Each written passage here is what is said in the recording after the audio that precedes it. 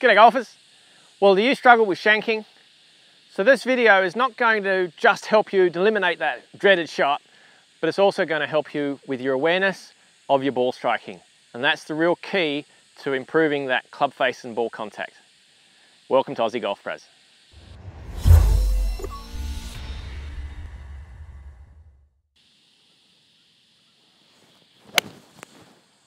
Oh, there's a shank.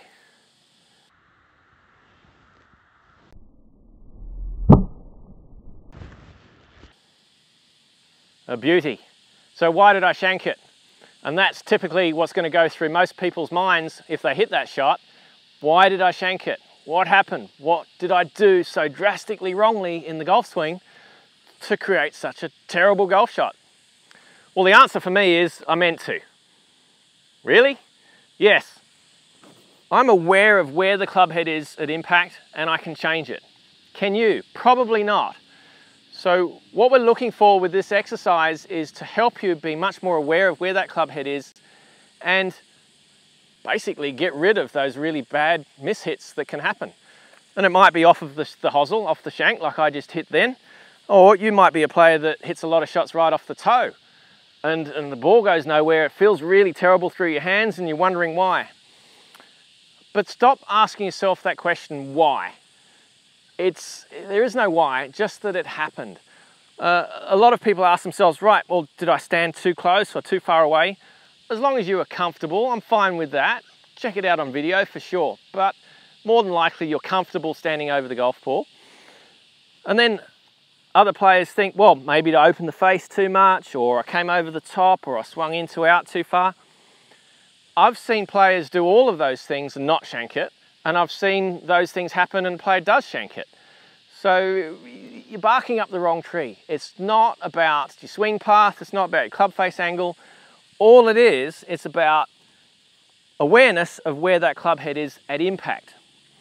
Now we did a, Steve and I did a video on curing your shank. It was a very popular video and a lot of people thanked us and, and contacted us thanking it. It really helps them to get rid of their shanks. So you can have a look at that video up in the corner here. And basically what we did was we got a half-filled water bottle, put it right next to the golf ball there like that, and it's, it's a barrier. It's an incentive to help you get the club in a different spot. So I set up to the golf ball there, and if I come down here and shank it, that means the club has drifted away from me. Don't worry about why, just that it did happen. It's like playing darts and, and throwing for the triple 20 and then you miss the board. You ask yourself why. It just happened you need to get better at being more accurate. In this case, getting better at getting the club in a consistent spot on the golf ball each time. It's a skill, not necessarily something technical. It's a skill that we're all trying to develop and get better at. So you can see there, I don't have a lot of space next to the bottle, but if I drift out, hit it out the hosel, I'm gonna hit the bottle. Even if I heel it slightly, I'm going to hit the bottle. So it really is a barrier, it's an incentive to stop that club drifting away. Very effective because no one likes to hit the bottle. I tell you, I've, I've seen a few people do it. It makes a hell of a sound and a bang. And there we go. And that's pretty easy for a lot of golfers just to focus on missing the bottle. Even a beginner can do it. And it's really effective in creating a good habit of getting the club in a better spot. So it's really effective drill and super for the range. But you can't take it on the golf course, can you? Not in a competition anyway. So the reason that we're, we're doing this video here today is to update that and give you some more options and as I said at the, the beginning, help you to really be aware of what's going on and improve your ball striking from there. You can grab a couple of tees. So if your golf ball's there, you can just pop a couple of tees on the ground and there that's feedback. You've got to try to swing between the tees, miss the tees altogether and hit the golf ball. But today we're going to use the pen. So I'm just going to, there's a line on the, on the golf ball there. I'm just going to put a mark on that golf ball. Just really test your colouring in skills here. And that mark is going to go down the bottom because that's your strike point for an iron. You need a dark color, blue or green like I have there. Now if I hit one, and I'm going to try to hit this out the heel so we can really demonstrate what's happening for you shankers. It felt like it was slightly out the heel. There we go. So you can see that marks out the heel. So that's instant feedback on what's happened. And this is where we can really use that information to help you to improve. So mark up another golf ball. Now we're gonna head down the rabbit hole of differential practice. We're gonna do something different. Keep doing the same thing over and over again and expect a different result. Basically, that's the definition of insanity. So we need to do something different now. So the difference is I'm gonna try to hit this out the toe.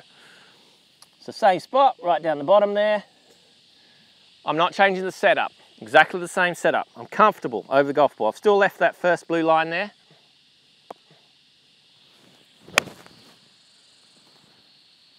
Now I could definitely feel that was out the toe. There we go, a long way out the toe, a little bit low as well. But that's what it's all about. It's doing something different, changing the pattern because that's all shanking is, it's a pattern, it's a habit. And we need to change that. And I don't want you to do that just once. I want you to do it several times. See if you can hit five in a row out the toe. If you hit one out the heel or shank one, then start again.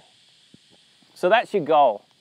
And you can really be effective in helping your awareness of what your ball striking is doing on the range here.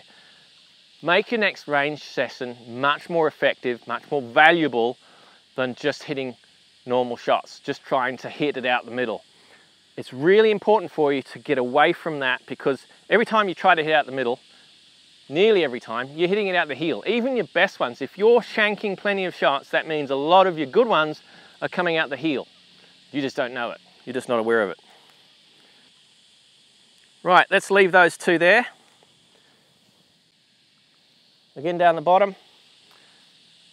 And we're rushing through this just because, you know, I just want to spend a few minutes with you, but I want you to really take your time with this. As I said, see if you can get five in a row out the toe.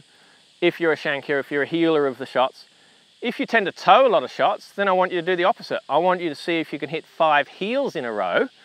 Not right out the hosel, but in this area here where I hit this one, see if you can get five in a row there If you hit one out the toe, which is your tendency, your habit, you're gonna find this very difficult to do.